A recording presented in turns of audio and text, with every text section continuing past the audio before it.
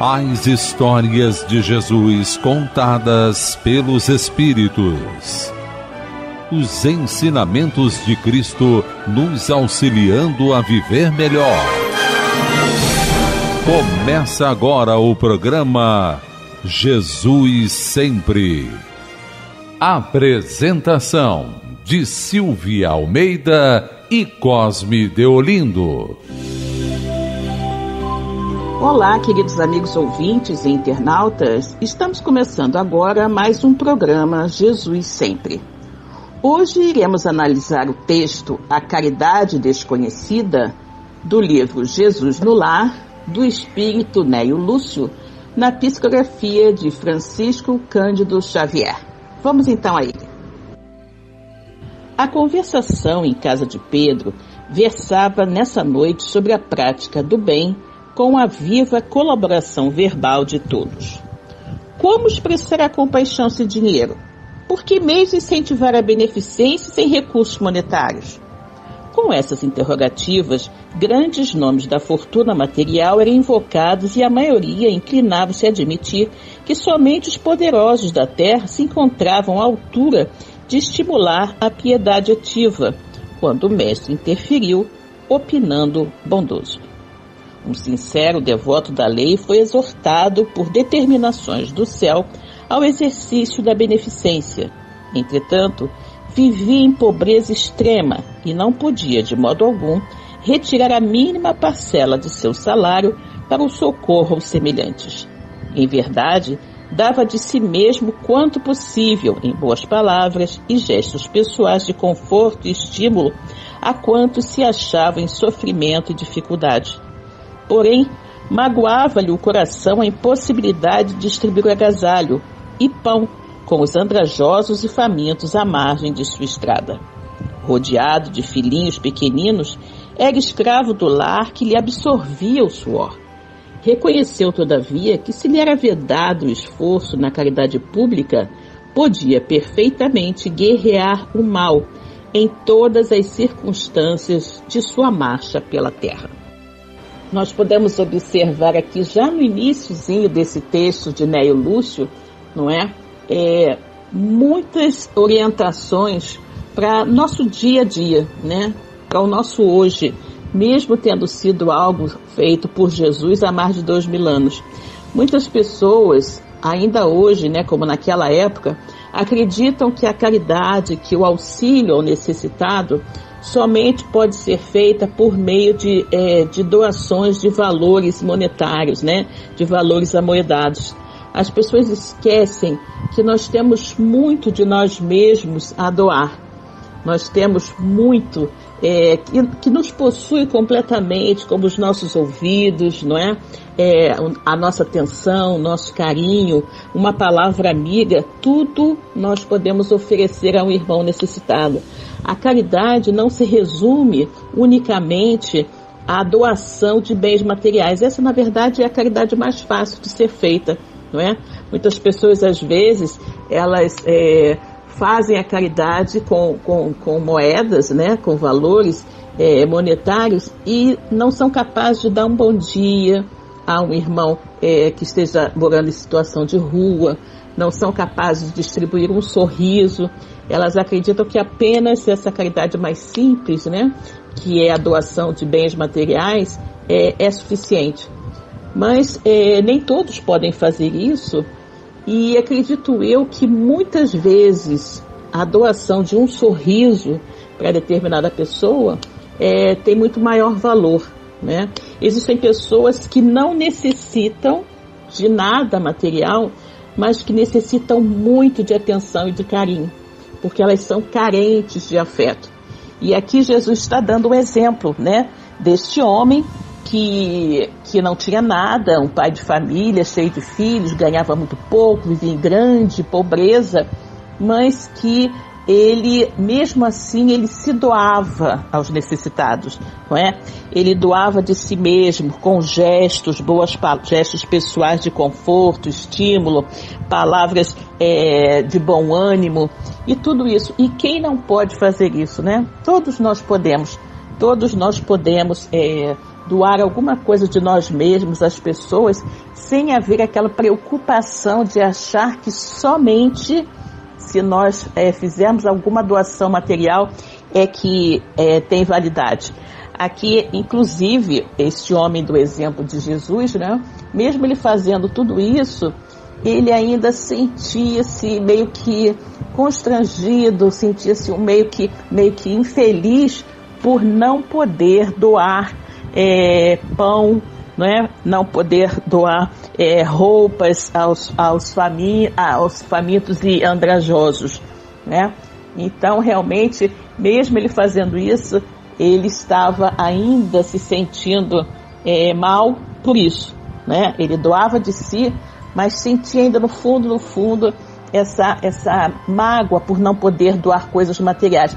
E isso é uma coisa que vai muito dentro de nós, né? Muitos de nós, mesmo ajudando não é, é espiritualmente ao irmão necessitado, porque não temos condições de ajudar monetariamente, às vezes nos sentimos assim um pouco, é, um pouco frustrados e talvez até um pouco culpados por não ajudarmos mais, né? Silvia, muito bom esse início de texto, a caridade silenciosa do nosso espírito Neo Lúcio, na psicografia do nosso querido Chico, quando aborda esse texto sobre a caridade desconhecida. E aquela conversação que se fazia na casa do velho pescador de Cafarnaum, quando eles discutiam como poderia ser exercida essa benevolência para com o próximo, essa caridade. E embora eles ainda não tivessem a dimensão e o entendimento do que é a caridade em si, Allan Kardec, é, na, no Livro dos Espíritos e na Codificação Espírita, ele nos traz grandes informações sobre o que é caridade.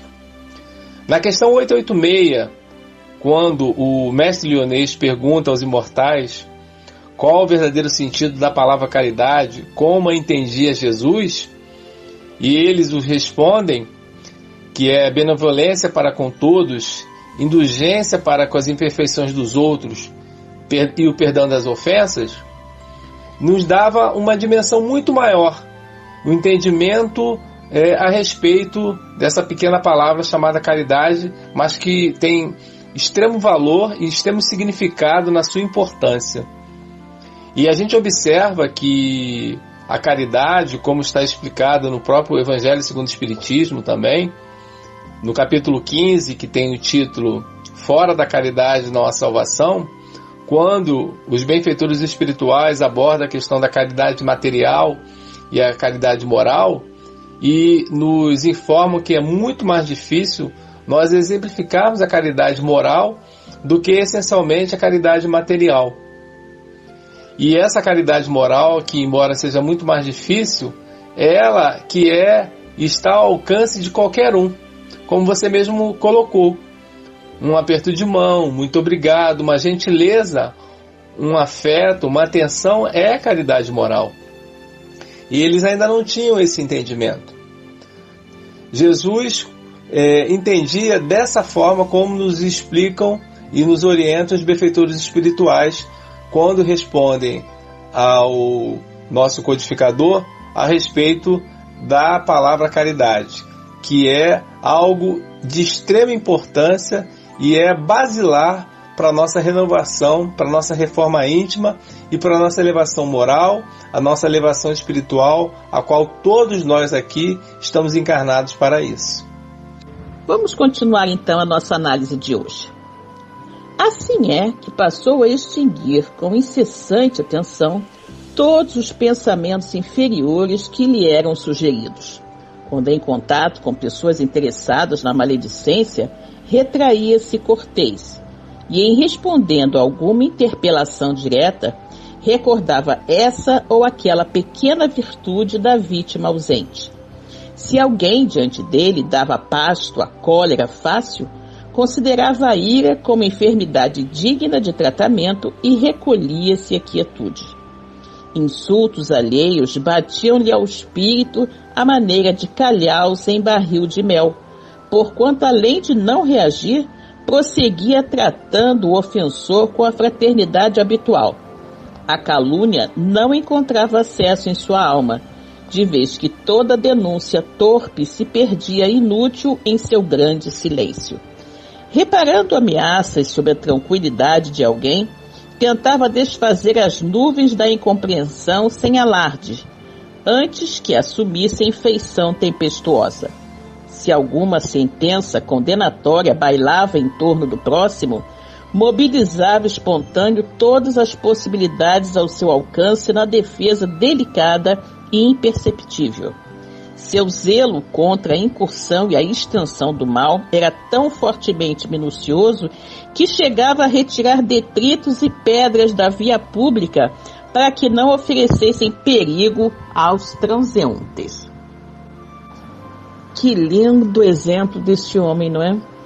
mesmo sem ter é, recursos amoedados para auxiliar aos irmãos de caminhada, é, ele ajudava com palavras, com gestos de bom ânimo, mas mesmo considerando que não era suficiente, ele resolveu fazer mais, né, dentro das suas possibilidades.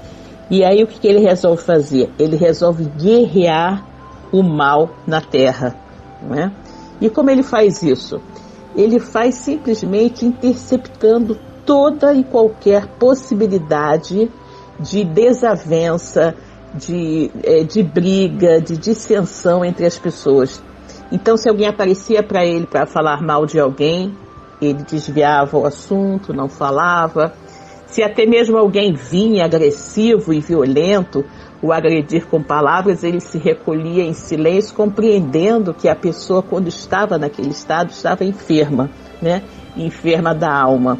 E ele tratava a todos, em todas as situações, em todas as vezes que se apresentava alguma mínima possibilidade de se criar um ambiente de animosidade, ele chegava como um bombeiro divino, não é?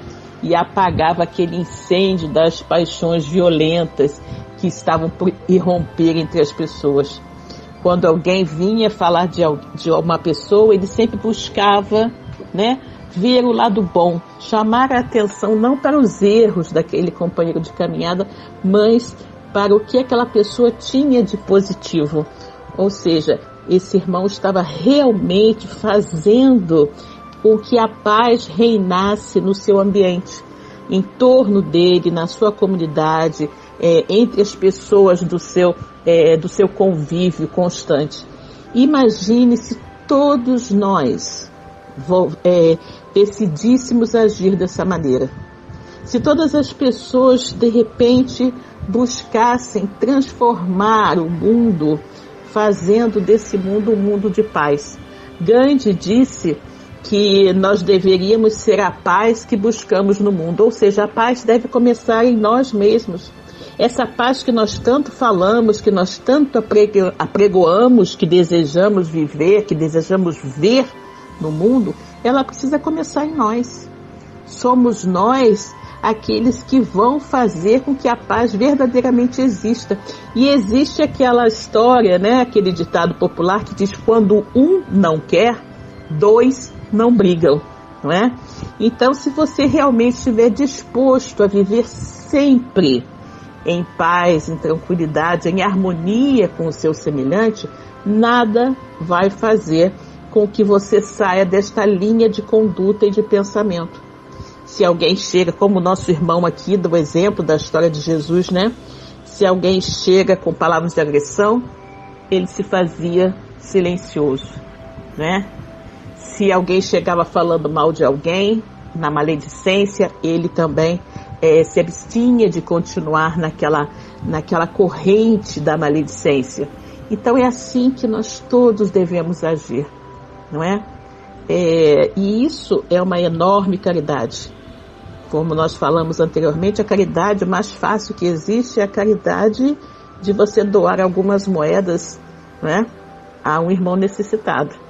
Agora, a caridade mesmo está em você ignorar uma agressão, ignorar um insulto, não é? Fazer-se de surdo diante daquele irmão menos feliz e desequilibrado que lhe agride. Esse sim é um grande exemplo de alguém que realmente buscava tornar o mundo um mundo mais harmonioso e pleno de paz. Exatamente, Silvia. E eu vejo na exemplificação desse nosso irmão é, algo muito também grande que se chama amor. Porque se nós pegarmos a mensagem do nosso Mestre Celeste, era todo a humildade e amor.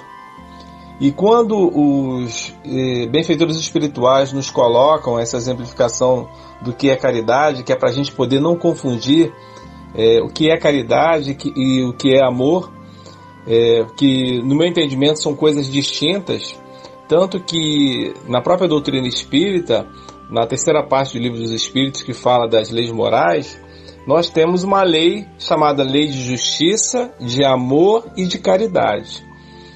Quando os benfeitores espirituais respondem a Kardec que é benevolência para com todos, indulgência para com as imperfeições do, do outro e o perdão das ofensas, a gente consegue identificar exatamente o, que é caridade, o que é amor. Quando eles abordam que caridade é benevolência, significa que exprime a boa vontade, a disposição da gente praticar o bem. Ou seja, de nós fazermos o bem para o próximo, de nós trabalharmos para o próximo. E quando eles também dizem que é indulgência para com todos, com os outros, ou seja, é a clemência, a misericórdia para com as imperfeições alheias, que todos nós temos imperfeições, mas nós entendemos que o outro não pode dar aquilo que ele não tem. E o perdão, o que é o ato do perdão? Que também está contido na resposta dos Espíritos, segundo o entendimento de Jesus para a caridade, a palavra caridade. É o ato da gente fazer o quê? De desculpar as ofensas. Porque vez ou outra nós ofendemos e vez ou outra nós somos ofendidos. Agora, o exercício disso tudo, de benevolência, é o trabalho, né? Em favor do semelhante.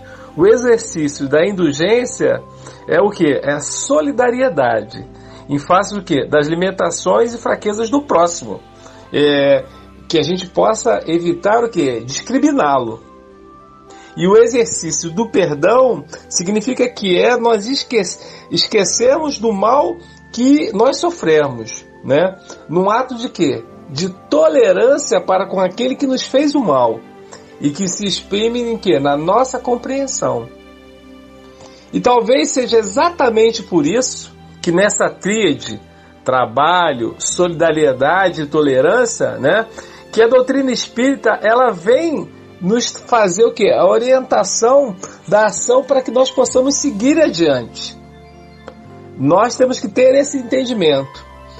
Nossos irmãos sabem que nessa tríade de trabalho, solidariedade e tolerância, a gente vem, os espíritas, o movimento espírita, ele vem trazer o que? A mensagem dessa orientação que é uma ação que nós devemos exercer e que tem tudo a ver com a palavra caridade, segundo a qual entendi o mestre amado. E o amor? O amor, a gente pode exemplificar como sendo o quê? É, uma, é algo muito mais profundo, é uma afeição profunda é a gente gostar demais do outro, né? É, dentro daquele sentimento mais nobre, né? De querer o bem para o próximo, né? Para alguém, é, no sentido de nós doarmos a nós mesmos, né? A fazermos a nossa própria doação com a própria vida do que a gente gosta, do que a gente quer para o outro, né? E quando a gente observa que o nosso irmão nesse trecho do, do, do texto ele se preocupava com até as pedras que estavam na rua para que o outro não fosse é, tivesse nenhum tipo de problema, ele exemplificava exatamente esse sentimento maior que o mestre amado era em pessoa, amor e o que ele nos exemplificou fielmente. E quando a gente exemplifica o amor, nós queremos sempre o melhor para o outro. Quando esse combustível amor ele, ele, ele trabalha a questão da ação espírita, a questão da caridade, ele faz com que a gente consiga entender tudo que nos acontece. E aí a gente vê vários exemplos, Vários exemplos. Às vezes, por exemplo, nós temos uma grande pessoa, um grande amigo, né? Alguém que nos faz bem e que, de uma certa forma, em um determinado momento, acaba nos irritando e nós ficamos ofendidos profundamente por qualquer situação. Acabamos azedando o relacionamento, acabamos nos afastando, ou seja, tirando, acabando uma amizade que era gratificante por uma questão de quê? De que nós não exemplificamos com amor. Se nós tivéssemos o quê? É, colocado o amor para esse companheiro, nós entenderíamos né, que ele pode errar assim como nós e que a caridade nos exemplifica isso, mas o amor que nós temos por ele é muito maior do que aquela situação mínima que aconteceu e que poderia ser conosco e que está nos exemplificando tudo isso. Então, o texto que nos aborda sobre a caridade e que a gente está aqui acrescentando a questão do amor e que é algo dentro da, da mensagem do Cristo, algo fundamental, porque a, a sua mensagem era por humildade e amor, a gente pode entender exatamente do que aquele companheiro, né, que ali naquela noite discutia tudo isso e exemplificava isso no seu dia a dia, ele era capaz de entender exemplificadas as ações de caridade e tinha um amor incondicional por todos que o rodeavam. Você está ouvindo o programa Jesus Sempre. Hoje estamos analisando o texto A Crise Mais Severa do livro A Mensagem do Amor Imortal do Espírito Amélia Rodrigues na psicografia de Divaldo Pereira Franco. Vamos então continuar a nossa análise. Adotando essas diretrizes, chegou ao termo da jornada humana incapaz de atender às sugestões da beneficência que o mundo conhece. Jamais puder estender uma tigela de sopa ou ofertar uma pele de carneiro aos irmãos necessitados. Nessa posição, a morte buscou ao tribunal divino, onde o servidor humilde compareceu receoso e desalentado. Temia o julgamento das autoridades celestes quando de improviso foi aureolado por brilhante diadema e por quem indagasse em lágrimas a razão do inesperado prêmio foi informado de que a sublime recompensa se referia à sua triunfante posição na guerra contra o mal, em que se fizera valoroso empreiteiro. Fixou o mestre nos aprendizes o olhar percussiente e calmo e concluiu em tom amigo: Distribuamos o pão e a cobertura, acendamos luz para a ignorância e intensifiquemos a fraternidade aniquilando a discórdia. Mas não nos esqueçamos do combate metódico e sereno contra o mal, em esforço diário, convictos de que nessa batalha santificante conquistaremos a divina coroa da caridade desconhecida. Que linda a conclusão desse texto, né? Do Espírito Neo Lúcio e que maravilhoso ensinamento de Jesus.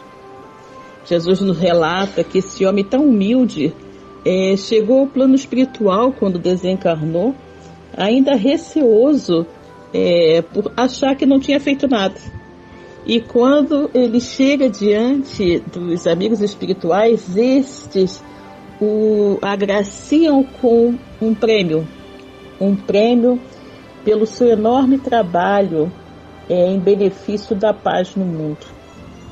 E Jesus então, ao terminar essa narrativa, olha para os seus é, discípulos ali presentes e conta que realmente é importante que a gente distribua o pão para saciar a fome dos necessitados, o agasalho, que a gente ofereça também o conhecimento, eh, a orientação eh, da verdade do Cristo, da mensagem evangélica para as pessoas.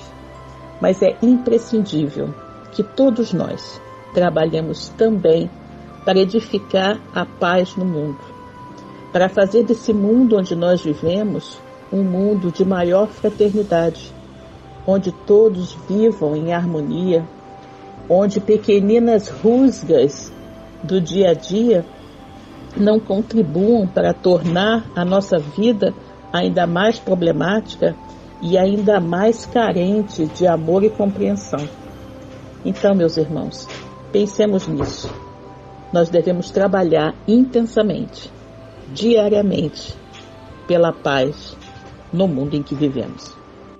E aproveitamos para lembrar a todos, aqueles que não tiveram oportunidade de ouvir o nosso programa ao vivo, poderão fazê-lo nas reprises, que ocorrem aos domingos, às 20 horas e 25 minutos, e também às quartas-feiras, às 17 horas e 30 minutos. Também pelo YouTube e pelo Facebook, na página Programa Jesus Sempre. Para aqueles que desejarem enviar mensagens para o nosso programa, podem utilizar o WhatsApp da Rádio Rio de Janeiro, que é o 21 9848 67633. Lembrando-se de colocar no início de sua mensagem para o programa Jesus Sempre. Então, queridos amigos, queridos irmãos, desejamos a todos muita paz e tranquilidade com Jesus. Jesus sempre. A Rádio Rio de Janeiro apresentou o programa Jesus Sempre